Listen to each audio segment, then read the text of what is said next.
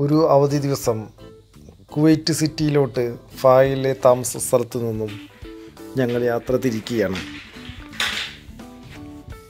ഇവിടുത്തെ public transportation സിസ്റ്റമായ city ബസ്സിൽ കയറി യാത്ര ചെയ്യാനാണ് ബസ് സ്റ്റോപ്പിലോട്ട് ഞങ്ങളിപ്പോൾ യാത്ര ചെയ്യുന്നത്. ഇത് ഫയൽ ബ്ലോക്ക് നയനിലാണ് ഇപ്പം ഞങ്ങൾ അവിടെ നിന്നാണ് ഞങ്ങൾ യാത്ര ചെയ്യുന്നത്. ഈ ആ ബിൽഡിങ് പണിയുന്നത് ഇവിടുത്തെ ഒരു മസ്ജിദ്. ജുമാ മസ്ജിദാണത്. ഈ ജുമാ മസ്ജിദ് പുതുക്കി പണിയുകയാണ് ചെയ്യുന്നത്. ഒരു ആറു മാസം ഏഴ് മാസത്തോളമായിട്ടുണ്ട് ഇത് പണി പണി തുടങ്ങിയിട്ട്.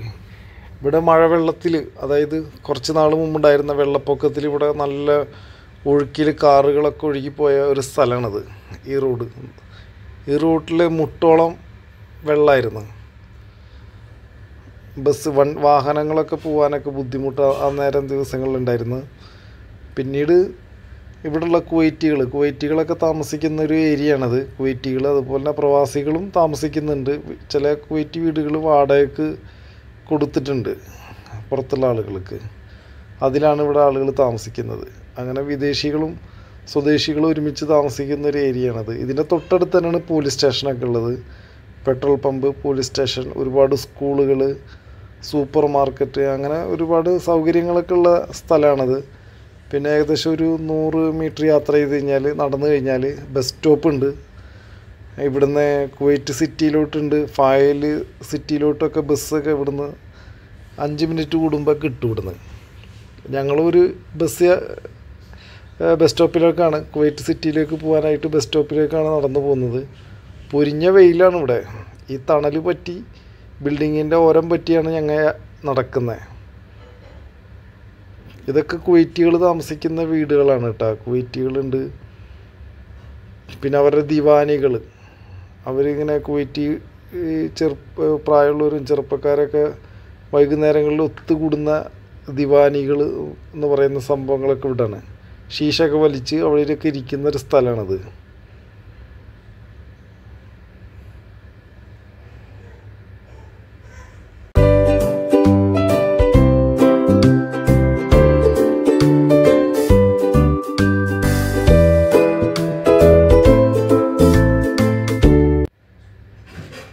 ഇവിടുത്തെ ഈ വേസ്റ്റ് ബോക്സൊക്കെ ഉണ്ടല്ലോ വേസ്റ്റ് ബോക്സുകൾ അതൊക്കെ എല്ലാ ദിവസവും രാത്രി രണ്ട് മണി മൂന്ന് മണി നേരത്ത് ഈ ബംഗാളി ആളുകൾ വന്നിട്ട് ഇത് ഇതെടുത്ത് കൊണ്ടുപോകും അവർ ആ വണ്ടിയിൽ.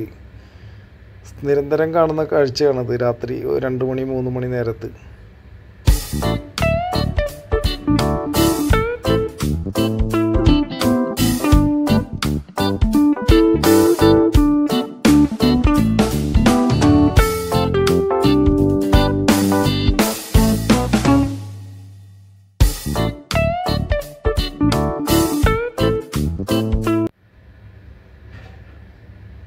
ഭയങ്കര വെയിലാണ് ചൂടാണ് പൊള്ളുന്ന വെയിലാണത്. റോഡും അതുപോലെ അന്തരീക്ഷമൊക്കെ പൊള്ളി നിൽക്കുകയാണ് ഈ സമയത്തൊക്കെ. കുവൈറ്റിന്റെ കാലാവസ്ഥ എന്ന് പറഞ്ഞു കഴിഞ്ഞാൽ ഭയങ്കര എന്താ പറയുക ഭയങ്കര തീക്ഷ്ണമായ ചൂടാണ് ഇവിടെ ഉള്ളത്. തണുപ്പാണെങ്കിൽ മാരകമായ തണുപ്പ് ആ സമയത്ത്. ഇത് രാത്രി പോലും ഇവിടെ നമ്മൾ ടാപ്പ് തുറന്നാൽ കിട്ടുന്ന വെള്ളം തിള ചൂടുള്ള തിളച്ച വെള്ളമാണ്. നമുക്ക് ഡയറക്റ്റ് കുളിക്കാൻ പറ്റില്ല. ഇതുപോലുള്ള ബസ്സിലാണ് നമ്മൾ എല്ലാവരും യാത്ര ചെയ്യുന്നത്. മറ്റേ സ്റ്റാഫുകൾ ഈ ഡ്യൂട്ടിക്ക് വേണ്ടി പോകുന്ന ബസ്സാണത്.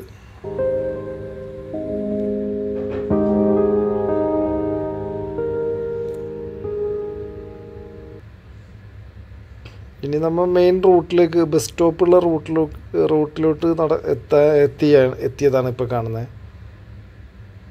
ഇതാണ് റൂട്ട് ബസ്സൊക്കെ വരുന്നത്. മെയിൻ റോഡാണ് ഇവിടുത്തെ. ഫയൽ പോലീസ് സ്റ്റേഷന്റെ ഒക്കെ അടുത്തായിട്ടാണ് വരുന്നത്. ഡബിൾ ഡെക്കർ ബസ് അതാണ് വരുന്നത് ഇതാണ് ഇവിടുത്തെ ബസ് സ്റ്റോപ്പ് ഏകദേശം ഇതേ മോഡലാണ് എല്ലാ ബസ് സ്റ്റോപ്പുകളും ഇവിടെ സജ്ജീകരിച്ചിരിക്കുന്നത് കോമൺ ആയിട്ട് ഇതുപോലെ തന്നെ സെറ്റ് സെറ്റ് ചെയ്ത് നിൽക്കുന്നതാണ് എല്ലാ ബസ് സ്റ്റോപ്പുകളും മരങ്ങളൊക്കെ തണൽ മരങ്ങളൊക്കെ വിരിച്ച് നല്ല സുന്ദരമായ ബസ് സ്റ്റോപ്പ് ചൂട് മാത്രമേ നമുക്ക് സഹിക്കാൻ പറ്റാത്തുള്ളൂ കുവൈറ്റിൽ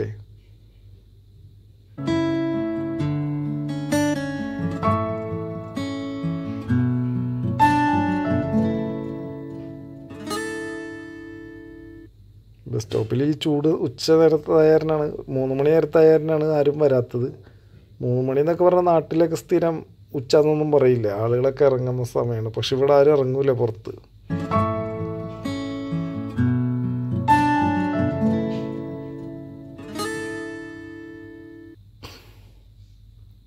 ഞങ്ങളിപ്പോൾ ബസ്സിൽ കയറി ഡബിൾ ഡെക്കർ ബസ്സിൽ ഏറ്റവും മുകൾ നില നിലയിലിരുന്ന് കാണുന്ന കാഴ്ചയാണ് ഇപ്പോൾ കണ്ടുകൊണ്ടിരിക്കുന്നത്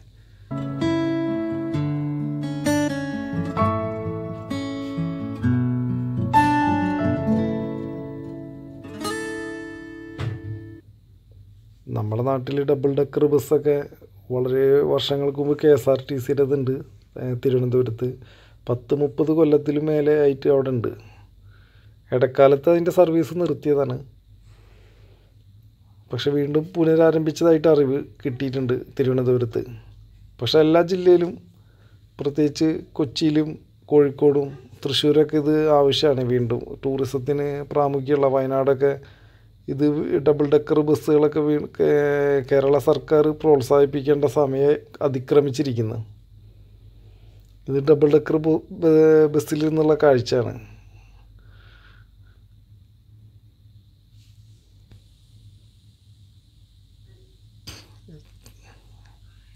ചില കാഴ്ചകളൊക്കെ അതിമനോഹരമാണ് റോഡുകളൊക്കെ സുന്ദരമായ റോഡുകൾ വീണ്ടും ഇവർ ശാസ്ത്രീയമായിട്ട് ക്രി റോഡുകളൊക്കെ നന്നായി ക്രമീകരിക്കുന്നുണ്ട്. അതിന്റെ ബ്യൂട്ടി അതിന്റെ സൗകര്യങ്ങളെല്ലാം ക്രമീകരിക്കുന്നുണ്ട് ഇവർ എല്ലാ റോഡുകളും.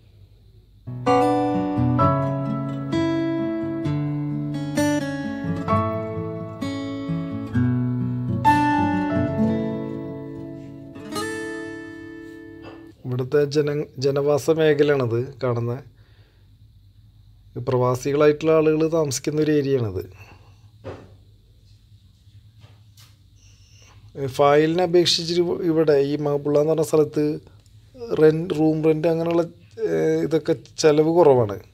ഫയലൊക്കെ ഭയങ്കര കൂടുതലാണ് റേറ്റൊക്കെ കൂടുതലാണ് എല്ലാത്തിനും.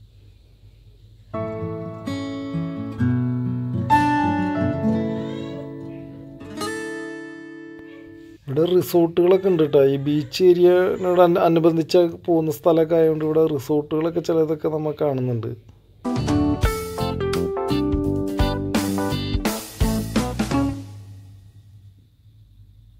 നമ്മൾ ഇപ്പോൾ ഒരു ട്രാഫിക്കിൽ പെട്ട് കിടക്കുകയാണ് ട്രാഫിക്കിൽ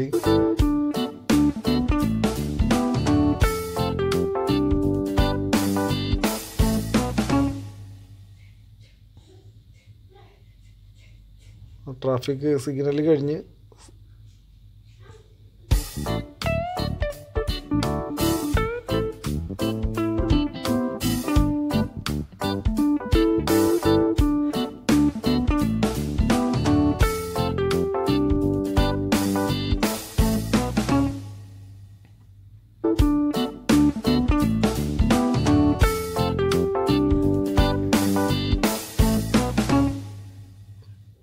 ഇത് സിറ്റിയിൽ നമ്മൾ എത്തി. മാലിയ എന്ന് പറഞ്ഞ സ്ഥലത്ത് കുവൈറ്റ് സിറ്റിയിൽ മാലിയ സിറ്റി. പ്രവാസികൾ ഏറ്റവും കൂടുതൽ ഒത്തുചേരുന്ന ഒരു സ്ഥലം. ഇപ്പോൾ ഒക്കെ വന്നതിന് ശേഷം ലുലു ലുലുവിലൊക്കെയാണ് ഇപ്പോൾ ആളുകൾ കൂടുതൽ പർച്ചേസ് എന്നാലും ഇവിടെ ഒട്ടും കുറഞ്ഞിട്ടില്ല. മാലിയയിലൊക്കെ എന്തായാലും ഒരു പ്രവാസി ഒരു ഒന്നോ രണ്ടോ തവണയെങ്കിലും വരും. വർഷത്തിൽ ഒന്നോ രണ്ടോ തവണയെങ്കിലും ചുരുങ്ങിയത് വരും. മിക്കവാറും പ്രവാസികൾ ഒരുമിച്ച് കൂടുന്ന സ്ഥലം കൂടിയാണ് മാലിയ സിറ്റി. പ്രത്യേകിച്ച് ഈ വീട്ട് ജോലിക്കൊക്കെ നിൽക്കുന്ന ആളുകൾക്കൊക്കെ ഉള്ള ഒരു ആശ്രയ കേന്ദ്രമാണിത്. ഒത്തുകൂടാനുള്ള കേന്ദ്രമാണിത്.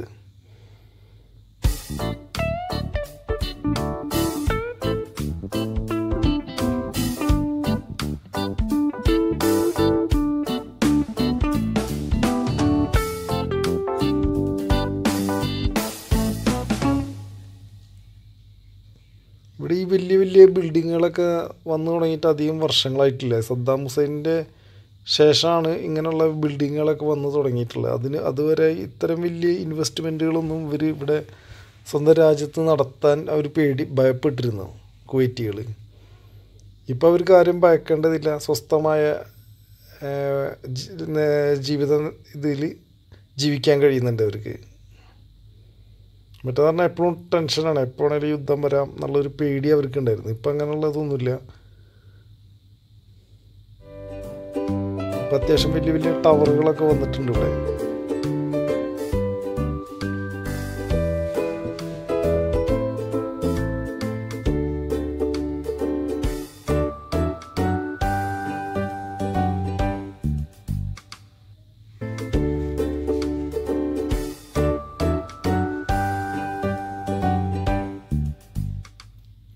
ലിബറേഷൻ ടവർ ഇത് ഇത് മുമ്പ്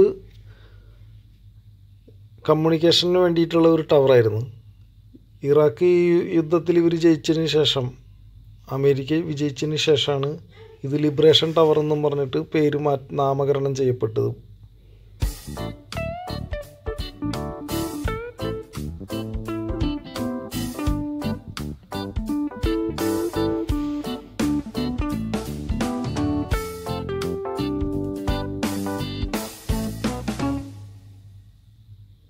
you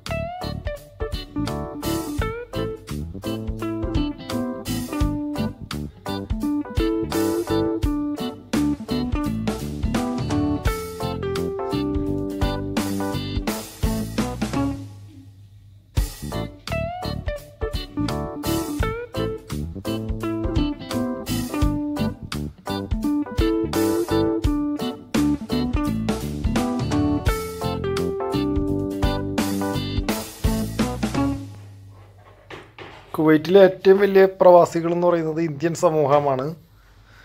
അത് കഴിഞ്ഞാൽ ഈജിപ്ഷ്യൻ പൗരന്മാരാണ്. പിന്നെ ഇപ്പം നേപ്പാളികളും ഫിലിപ്പീൻസുകളൊക്കെ ഉണ്ട്. ഫിലിപ്പീൻസുകൾ ഇപ്പോൾ കൂടി വരുന്നുണ്ട്. എങ്കിലും ഫിലിപ്പീൻ ഗവൺമെന്റും കുവൈറ്റി ഈ ഗവൺമെന്റായിട്ട് ചെറിയ ഉരസല്ലാണ് എന്ന് പറയാം. കാര്യമായതില്ല. ഇവിടെ ഈ തൊഴിലാളി ഗാർഹിക തൊഴിലാളികളുമായി ബന്ധപ്പെട്ടിട്ടുള്ള ചെറിയൊരു പ്രശ്നം. അത് പരിഹരിച്ചെന്നാണ് ഇപ്പോൾ കേൾക്കാൻ കഴിയുന്നത്.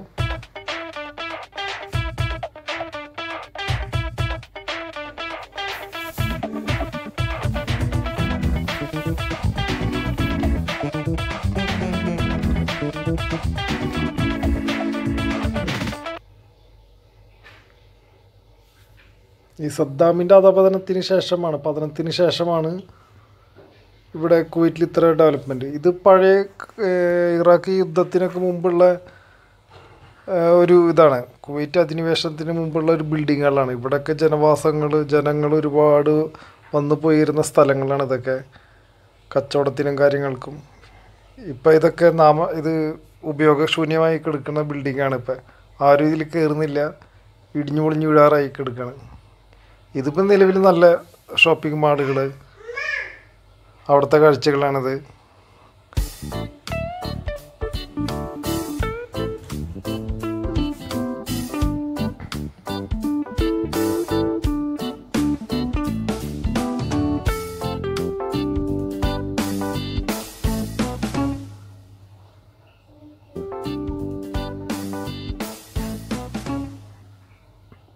പെരുന്നാളായാലും നല്ല ഓഫറുകളൊക്കെ ഉണ്ടല്ലോ ഷോപ്പിലും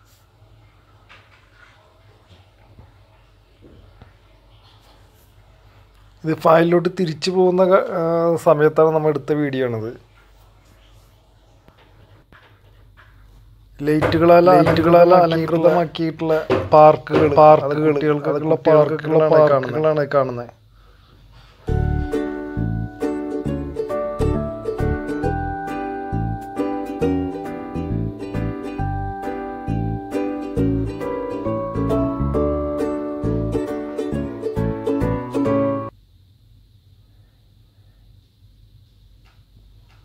റമീസ് ഉറങ്ങാണ് റമീസ് ഉറങ്ങാണ് വാഹനങ്ങളൊക്കെ വാഹനങ്ങളൊക്കെ പ്രദേശങ്ങളിലുള്ള പോകാനുള്ള വാഹനങ്ങൾ ഇങ്ങനെ നിൽക്കാണ് ഇങ്ങനെ നിൽക്കാണ് ട്രാഫിക്കിൽ ട്രാഫിക്കിൽ വിട്ടിട്ട്.